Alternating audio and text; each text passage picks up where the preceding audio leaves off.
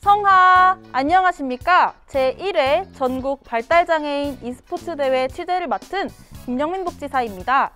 정말 우열을 가리기 힘들 정도로 다들 어마무시한 실력을 가지고 계셨는데요. 선수들의 멋진 춤사위 다들 궁금하시죠? 뜨거운 함성과 열정 가득한 댄싱 머신의 면모를 보여주었던 대회 영상 지금 바로 보시죠 긴장한 모습을 하나도 찾아볼 수 없는 성북성장 1팀.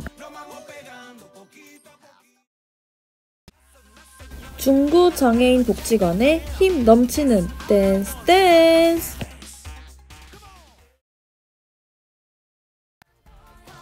이 스포츠에서 가장 중요한 건 박자와 리듬 아니겠어요?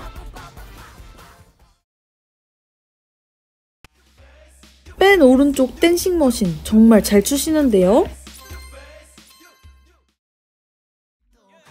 배드민턴에 이어 e스포츠까지 정말 완벽합니다. 레전드 남장복의 칼군무 정말 멋있지 않나요? 대망의 마지막을 장식하는 춤신 추망팀 성북성장 1팀 러브올 중구장애인 복지관 진심으로 축하드립니다.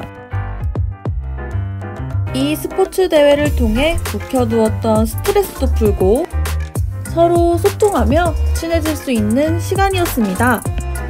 모두 즐겁고 건강한 겨울 보내시길 바라며 우리 모두 다음 대회에서 꼭 다시 만나요. 안녕!